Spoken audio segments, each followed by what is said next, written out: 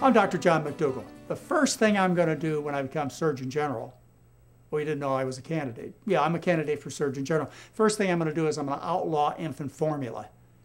Well, at least you can can get it only by prescription. That's right, you've got to go to the doctor like you would for some narcotic, and you've got to beg the doctor for a prescription to get infant formula. It won't be sold over the counters in drugstores and supermarkets anymore. This is a drug that makes children sick and ruins families. That's correct. Formula. If you formula feed your baby, what happens is the baby has uh, somewhere between two and four times the risk of sudden death, sudden infant death syndrome.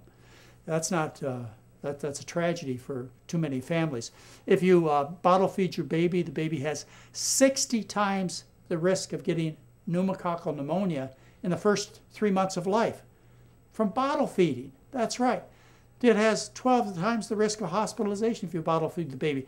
Baby will have more difficulty with speech, uh, more difficulty with emotional and mental development, and more risk of having diseases as a child, which carries on to later in life bottle fed babies, when they become adults, have more heart disease, more cancer, more obesity. So, breastfeeding is absolutely crucial. You want to do everything you can to make sure that your babies are breastfed. If you have a hint of problems, you get a lactation consultant, like somebody from La Leche League. You call your local hospital, get yourself some information on how to get this necessary help. Get these people involved in your family so that you can continue this life saving process of breastfeeding.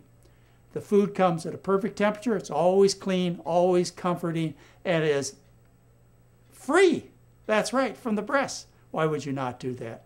That's the most important advice I can give young families as far as starting out on the right foot. I'm Dr. John McDougall.